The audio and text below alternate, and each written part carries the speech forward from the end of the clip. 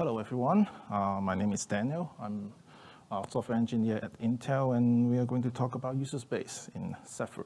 Uh, this is the, uh, the topic of the, of the day. We'll, I'll give a very brief and simplified overview of uh, user space in Zephyr, uh, and then I'll talk about uh, how you're going to share data using user threads, and we'll, we'll, go into some brief details on syscalls, on how, basically how, how, how you use uh, uh, kernel services from, from user space.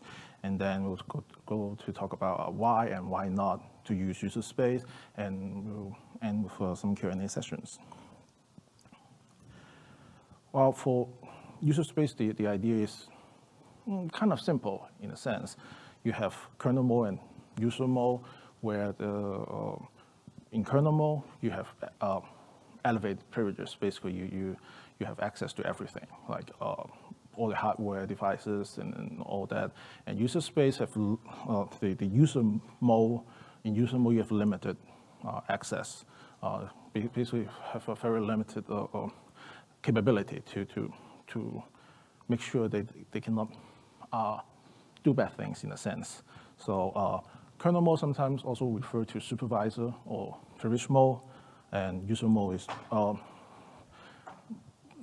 kind of unprivileged mode, uh, but I usually uh, the hardware vendors usually just call them user mode at that, that point.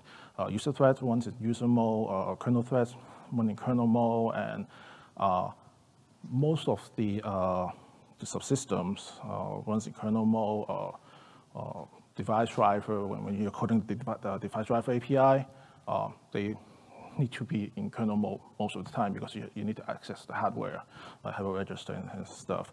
And of course, the, the, core kernel has to run in kernel mode, like the scheduler or um, that kind of thing. So, and when, when, when I say this kind of thing, the concept is simple. It's, it's because really it's this. What you are limiting in user mode is basically limiting uh, the, the, the user threads from accessing certain memory. Well, not exactly the like memory in, in terms of like SRAM or, or, or like a memory map flash. It's just limiting the access to memory addresses, which means like MMIO, uh, hardware register space, uh, you can have a memory mapped flash uh, area, that kind of thing. So uh, for that, like, uh, like I said, kernel, in kernel mode, kernel threads have access to all of this. Uh, that's, that's, the user space model in, in Zephyr.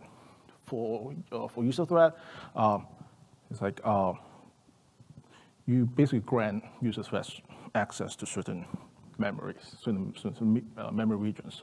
For example, the, the, uh, the left two can access the, the, the, memory region of the left two and the right two, and the, can access the right two.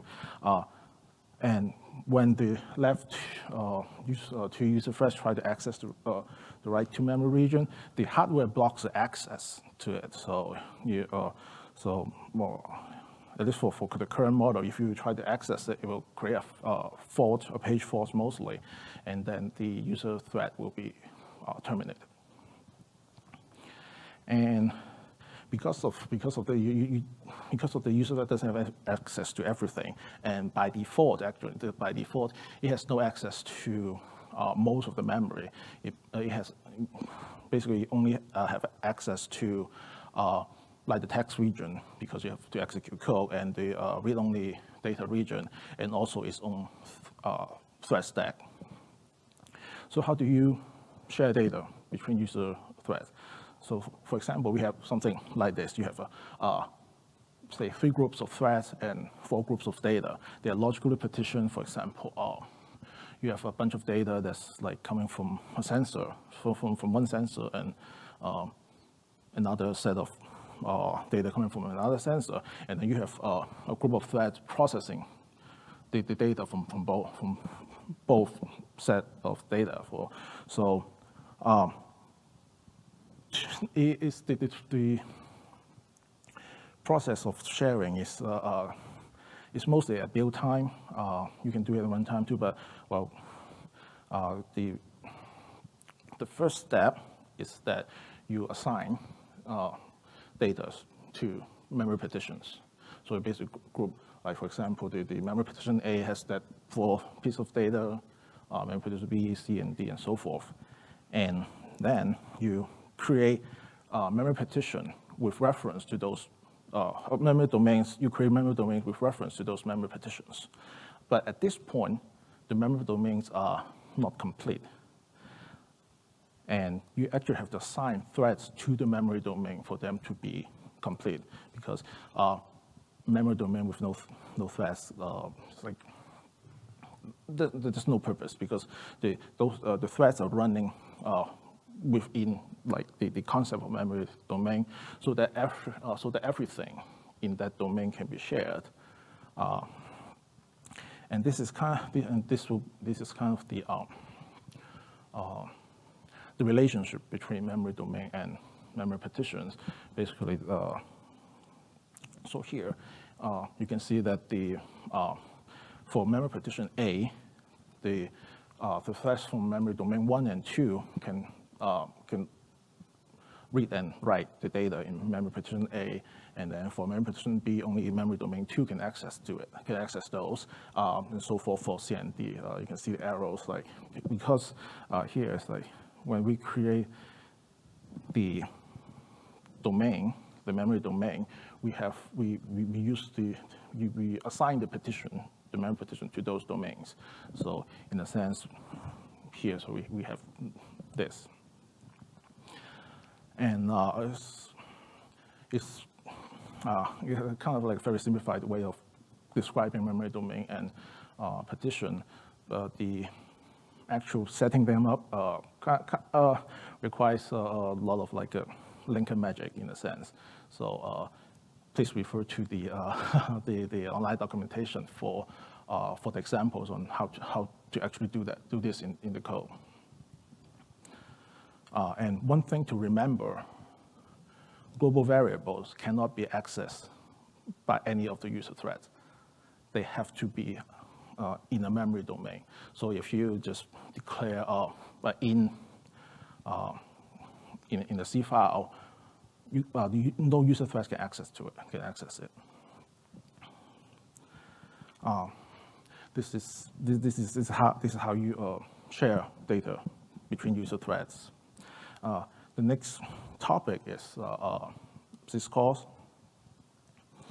Um, the main purpose of syscall is for user thread to access uh, uh, kernel services. For example, uh, you want to log a mutex, uh, unlock mutex, take, take a give a, a semaphore, uh, send something to the mailbox, the kind of things, and and also like when you want to access devices like want to do I2C transaction or send something to the UART.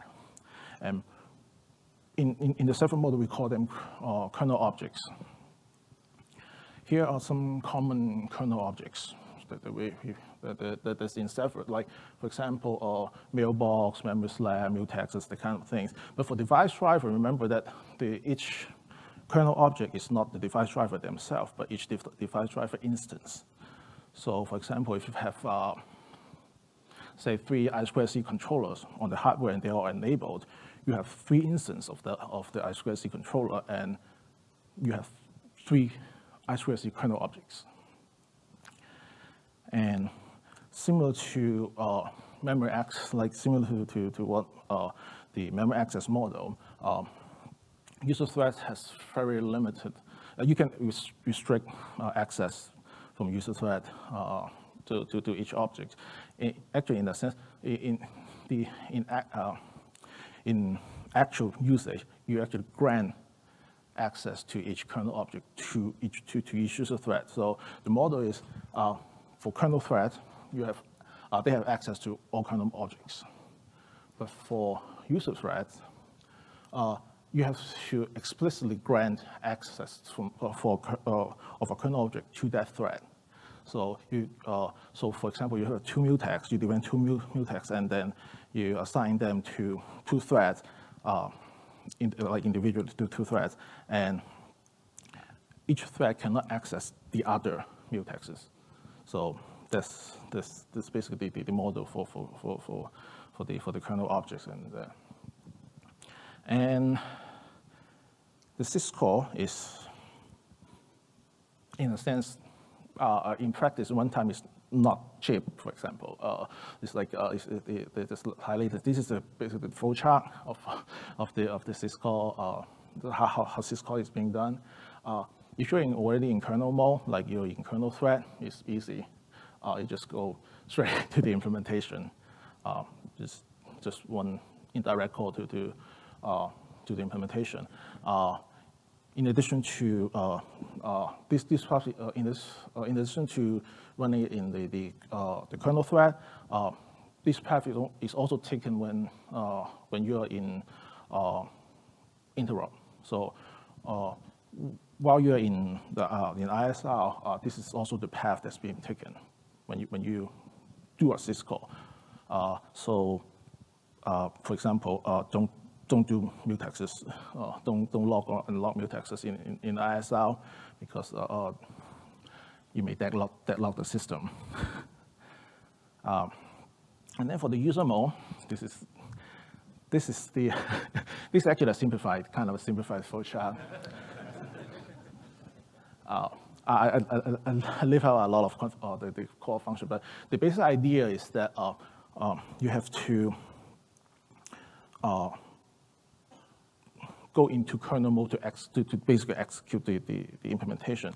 So uh, the first step, uh, like if you're in user mode, the first step is to package the function argument and then it goes through the privilege escalation to, to go from user mode to kernel mode. So, the, uh, so you can use a different set of permission, like a, a different set of uh, page table for MMU and different set of uh, memory region permission for, for MPU, for example. Uh, and then after privilege, uh, privilege escalation, in kernel mode, and then uh, you have to unpackage all the, all the, all the agreement, all the, all the function arguments into basically just the the elements. So for uh, if you have a, if you pass 60-bit, 64-bit data with uh, on a 32-bit system, you have to uh, uh, the the background has to unravel this. It's like pack it in a certain way and then unpack it, unpack the, the, the data. So after unpacking the data, it has to go through a verification uh, to make sure that the data being passed are valid. For, uh, like, uh, for example, if you pass a, try to pass a mutex, uh, this verification has to verify that this is a mutex. You cannot just pass in any uh, arbitrary uh, memory address and call it a mutex. No, no that, that's not a good thing because you, you would be modifying arbitrary memory uh, in kernel mode, which, has, which basically has have access to everything. Uh, so this verification must be done, and Another part of this, like if you are passing something, uh, you're passing a memory buffer or a string, for example, this in, in this stage, you need to copy, you need to copy that, uh, basically uh, allocate a memory in kernel mode and copy, copy the memory buffer of the string into the newly allocated buffer. This is mostly to prevent um, uh, something modifying the buffer uh, between, between the syscall and the actual implementation is being done. It's, it's kind of a, it's a security measure too, because uh, with a preemptive threat, uh, the, the, the, the going through this can, uh, can be preempted and then some, something can come in and modify the buffer and then the, and then the original thread comes back in, run with the modified data. You, you, you don't want to do that because the, uh, the data can be uh, modified in a malicious way. For example, like uh, Bluetooth, you can you can uh, massage the the, uh, the, package in a sense to uh, do something bad. And I, don't have the return path for, the, for this, but the, the, return path is very similar to the uh, to, to the path here. Is, is just the, the in, in universal you package the return value, uh, go, go, go through the uh, privilege de-escalation process to go back to user mode, and then uh, unpackage the, the, the argument uh, in a way so that the, uh, the site of calling this function mm, like it's just another function call. So this call is kind of hidden. Uh, like behind the scene things for, for, for, the, for the caller. Um, after seeing this flowchart, someone might uh, ask why, why do we need uh, user space? Uh, there's always a, the big question is why do I care? Uh, one very, very first things on why or why not using user space, or basically why not using user space, the hardware must support MMU or MPU, uh, memory management unit, or memory protection unit, or in the RISC-V world, it's called physical memory protection, if I remember correctly. Uh, if you have no MMU or MPU, that's, you cannot use uh, user space because you don't have hardware to uh, guard the access to, to the memory. And another thing, like with this, the, uh, with the syscall flowchart, you can see like uh, the latency goes way up for user for user thread. Like uh, not not just only syscall, but for context switching too. Even even if you're switching between uh, uh, user threads, you, uh, you have to uh, change the page table, or you need to reprogram your MPU for so so to, for, for, for the permission of that of the new the incoming thread. And another downside of using user space is that uh, the memory usage requirements uh, goes up because uh, uh if you're using MMU, you need to uh, store the page table somewhere so you can swap uh, in and out doing context switching. And then for user thread, there's an additional stack uh, that is needed for, for user thread because uh, when you're going into kernel mode, the, uh, the execution is no longer using the, the, the, the, the user thread stack. It's, it, goes, it uses the privilege stack to, uh, in a sense, to avoid, kind of avoid leaking uh, data through the stack. Uh, and the, at least the current implementation uh, of, of the MMU code is that the privilege stack uh, is set up in a way uh, so the users, user, users cannot access to them. They, mm, kind of like a, a, a kernel. It's, it's, kind of like kernel thread. Only, only, only things in kernel mode can access the privilege stack. And also, one thing to consider is the, uh, the page alignment for memory partition, because uh, the access granularity is uh, on the, for MMU is uh, on the page size, it's like uh, most is 4K, but for MPU, you, uh, it might be, uh, it, it, it, it's based on the MPU, for example, if you have a, a, two, a power of two requirement, so you always have to pad the, uh, the, the, memory partition region to, to the power of two, so if you have, say for example, 4 byte data and, and the alignment need to be uh, 8K, then you're almost wasting uh, 8K of memory for that. And um, and in, in addition to, to this, uh, when considering uh, whether to use uh, user space, uh, you have to understand the threat model that the user space uh, implementation is based on. Very first thing is that there's no interactive user. Um, I don't know why you want to have interactive user on an embedded system, but that's, that's the model. No interactive user, uh, no login. and another thing is that uh, uh, the, the, the threat model is that we are not guarding against malicious code. Uh, although the threat model says that oh, we don't trust the code running in, uh, in user mode, however, uh, because you have to package the whole firmware together. Uh, so if you don't trust the code, why are you packaging it in the flash? in the flash? So uh, that's the original model. That's the original model. However, with the, uh, with the link linkable, linkable module now, uh, things get a lot complicated because you can basically load whatever code in there. So uh, that, that, that's the next talk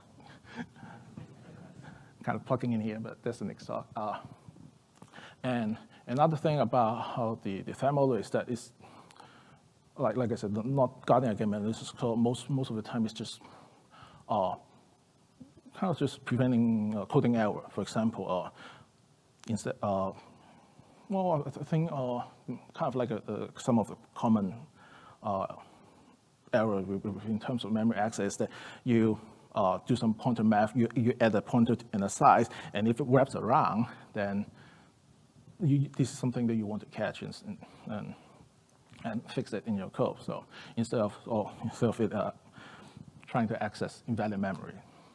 And the, the other thing is that it, it just isolate between memory domains. So that uh, basically, uh, uh, so the bad behavior in the sense of uh, the threats in one domain will not affect the, uh, the, uh, the behavior of, of the threats in another domain as long as they don't share the same memory partition. Because if, um, if they modify the same uh, data and then one, one group is writing bad data and then the other group reading bad data, then there's not much you can do there. So I think that's a very brief and simple overview. I hope you're all confused.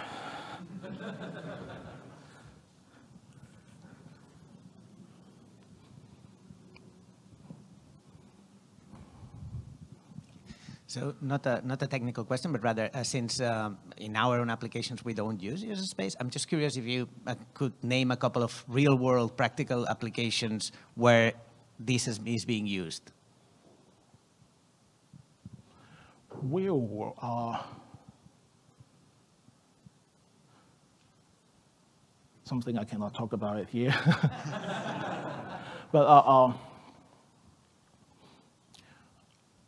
I don't know any commercial product that's using it, but that's mostly because of my ignorance. And one thing I, I just want to uh, mention is that uh, what we are providing is just a framework. So whether you want to use it is up to you based on your requirements, like what your product is doing. So um, I, actually follow for example to this. If you have a, a, sensor package that you, you, you put it into a remote location that that you just uh, go there and grab the data once a month or once a year. Uh, the, and they don't do any like uh, data transmission or receiving anything. You may not need user space because you don't, uh, because you, you're not uh, getting, you, you probably will not get malicious data that, that compromise the operation of the, of, of the whole thing. So, this is, so yeah. Just, just to answer this question, I think what, what Daniel mentioned with regard to loadable extensions, which is something new in Zephyr right now, but it is definitely something that has been done outside of Zephyr in the context of Zephyr. Right now we have something, but it's mostly, I mean, when, when you want to use an MPU or an MMU, it's about uh, guarding like a, a, basic firmware from third-party data that you might actually you have in the system, you know, through, you know, you know, extensions, codecs, whatever. You want to allow ex uh, firmware extensibility, and that's where, that's like one guard. But also, the, the, the practical solution, and that actually, the, the, basically it was going to be my question, is all of the things that were listed on the slide. It's actually, there is a lot of things that we, in Zephyr, that we have right now where because of historical reasons and, and whatnot, I mean, we don't have much of error checking, for example, yeah, or parameter verification, etc. I mean, that has changed over, over the years, uh, but things that we couldn't put in the implementation that is used in the non-user space case are available in the uh, in the verify function. If you go to the syscall uh, uh, diagram, you see there's verify. Yeah, depending depending on the function, uh, there is a lot of error checking happening there. Yeah, and if you are running a safety critical application or a, you know that, that's actually something you want. Uh, right now, however, and this is my question actually, yeah. Right now, however, is this is all depending on user space. Yeah, we really need to figure out a way how to start moving a lot of verification and, and, and checks that we have in this function that is enabled right now in user space into the main Im implementation. Uh, we did that in the past with the CHECKIF macro and stuff like that to avoid uh, explosion in the footprint usage. But we need to figure out a way, yeah, maybe we should have like a two-level thing where the implementation and you can actually enable the, the, the verification function if, if, needed to add more checks, yeah? So this is, uh, this is uh, a question, and I, I briefly talked with Daniel about that. This is not so easy because with the design. My second question is what are the differences in the implementation Uh, when you have an MPU versus MMU? Yeah. The, dif the difference between MMU and MPU? The,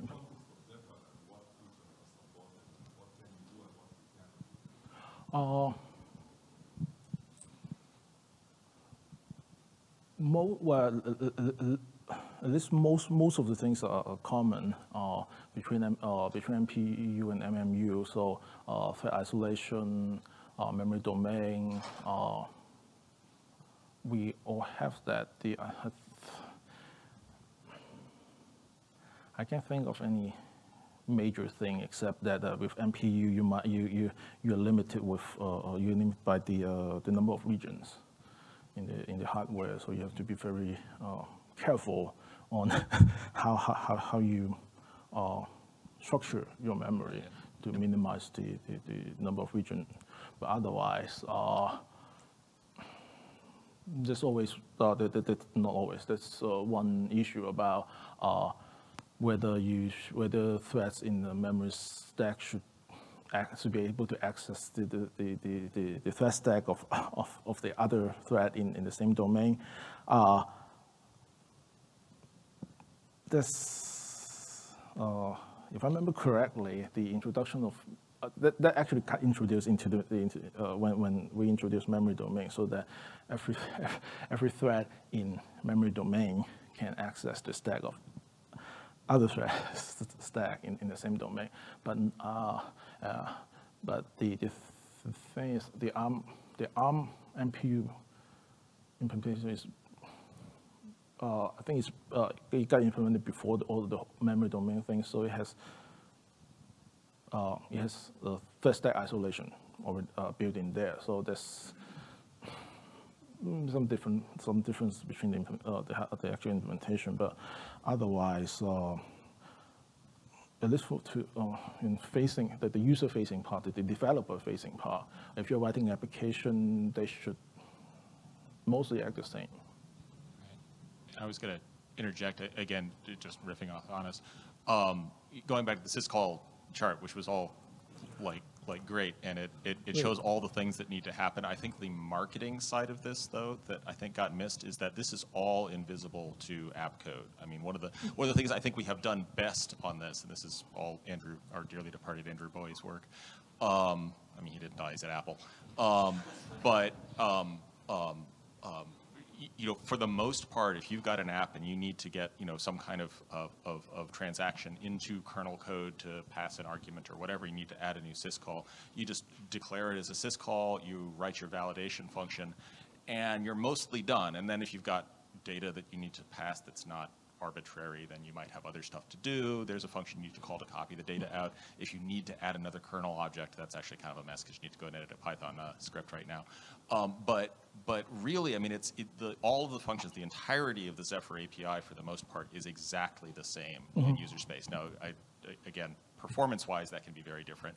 But but really, I mean, it's, I, I think we've got a much stronger story here than I think really any other you know uh, uh, embedded OS, and, and, and frankly, even than, like Linux does. If you need to get into kernel space in Linux it's hard and you've got to, you've got lots of tools, right? You can choose like, you know, a sysfs node, you can open something in proc, you can do all kinds of things. But you're looking at, okay, here's your six function calls that you've got to implement and all the callbacks and all of that stuff. And in Zephyr, it's you, you just you go and you, you add one preprocessor token and you're done. So uh, well, actually extending to that is like, uh, even, even, even though, uh, even, uh, even if you declare a function in syscall, uh, the, the, the, like line this is like uh, it's all behind the scene. So even if you uh, set config user space to no, uh, at least from the uh, API user perspective, they don't need to change anything. They just they can still call kmutex log. It will function the same. in their perspective. Thank you for this presentation. Uh, I just have a question. So if you um, access uh, something and another memory domain and you don't have the permission, you mentioned uh, you mentioned that the thread will be terminated. This is the case on both MMU and MPU.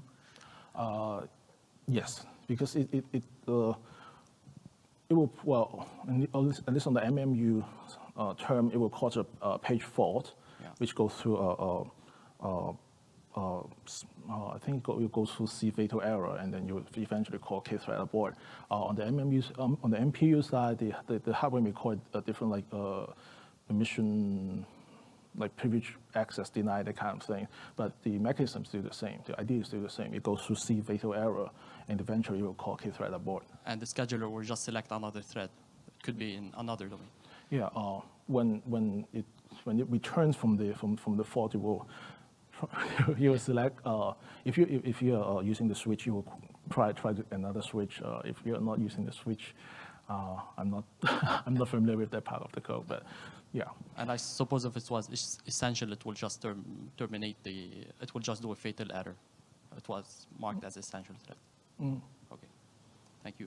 Just also another question, it would you consider a, a good practice to, to put the whole code in, uh, in a module and use library app named instead of just creating the different partitions? Uh, just put the, the whole memory domain in a, in like a, in a library instead of just creating each memory domain uh, manually with the different partitions. Oh.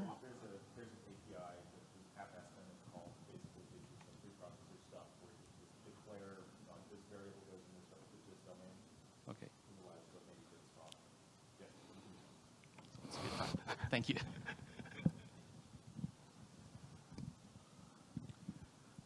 Do we have any tooling or anything that helps, you know, visualize to some degree simply like just the, the memory partitioning layout for, uh, you know, for someone who's trying to set this up? Um, and so whether it's things like the alignment restrictions and saying, hey, maybe if you, you know, reordered these, you'd, you'd, be- you know, be better off and not waste as much space or anything of that nature? No, we don't this point.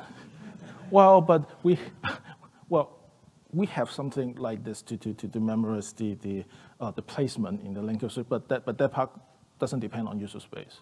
We, we, we- have, uh, I don't remember, it was done a couple of years ago. Uh, as a developer of a driver for a peripheral that is really custom and doesn't use a standard API, how difficult it is to expose my code in user space? Do I need to worry about all the um, uh, marshalling of the arguments, or will this be transparent, like for uh, system, the other system calls? The, wait, uh, you don't have to worry about the, the marsh, like uh, the, the, the left three and the, and, and the marshalling, you don't have to worry about it. It's, it's done behind the scene. Uh, you, what you need to implement is the verification function and the implementation and declare the, uh, your API as a syscall. Um, I have a question. So mm, there is a set of related uh, technologies like this Trusted Firmware-M and trusted execution environment. So if I were to explain to our customers and users when do you use the user space and when do you package your you know custom code in, in the trusted execution environment, would you have any advice or this is just something you, you're not familiar with?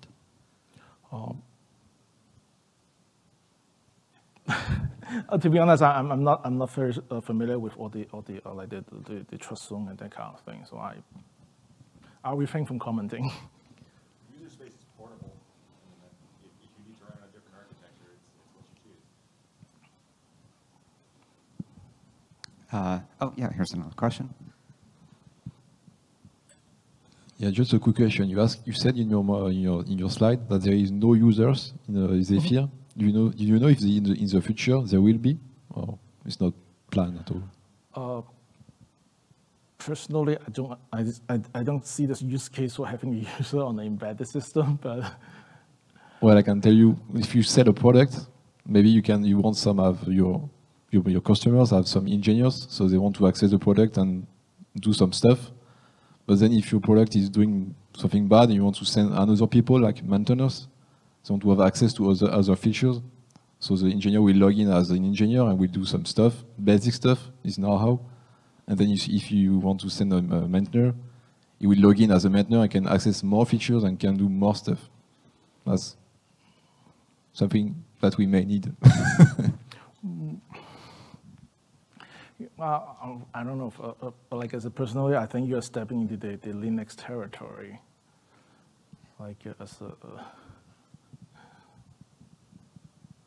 Yeah, I mean, but to his point, I mean, there there are MCU platforms that are, you know, considered crossovers, and and as such, they're fairly powerful.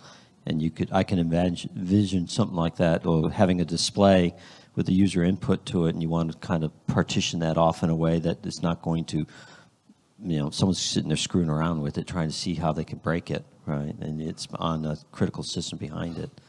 But the, I think one of the keys here is if you if you determine that you have a uh, a, a product requirement for it, then then this is here. It's transparent to the application, uh, and the only cost is the overhead of the marshaling, the the escalation, all that that path right there.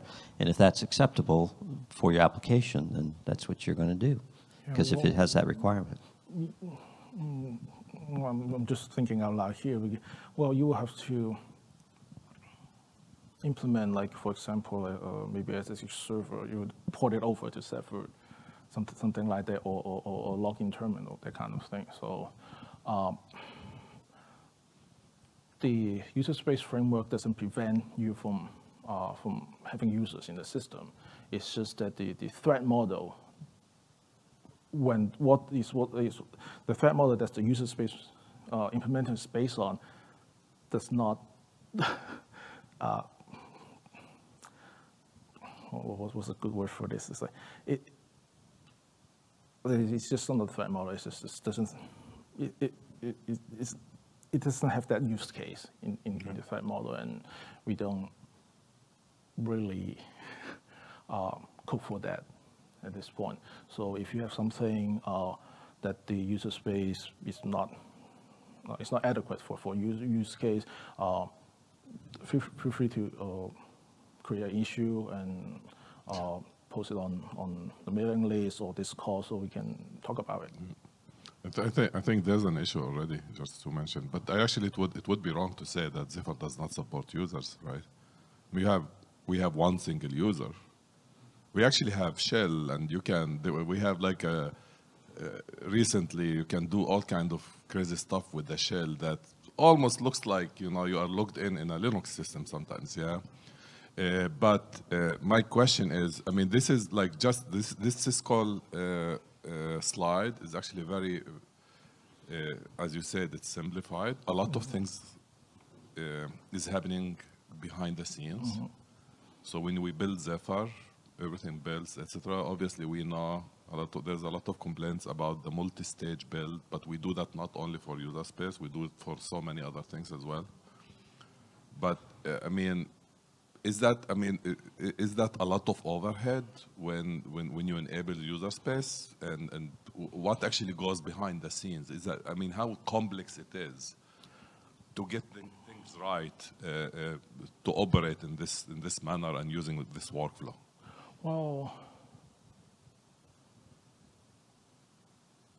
well, I'm, I'm very biased in this, in this instance, so uh, I would say that it's not exactly easy, but it's not that hard because the, the, the things you need to implement is, is the, uh, the verification function to make sure that everything, uh, the, the function arguments are valid before you, you send it to the implementation. And we have uh, uh, examples, a lot, uh, I, not exactly a lot, but we, have example in the documentation, and we actually have a lot of uh, implementation or verification in, in the code itself, so they can serve as a, a learning material in a sense. Uh, otherwise, as a, as a- developer, most things are intermediate difficulty, but uh, for the build system, is is is there. Uh, it may take a while. well, in, in terms of building, uh, it might take a, it might take longer because it's pass the file, pass all the file, for the syscall, and then generate all the uh, the, the, the behind the scene functions. So it's not free. All right. Uh, yeah, we're actually at time, uh, but let's give a round of applause for Daniel. Thank you so much. Thank you.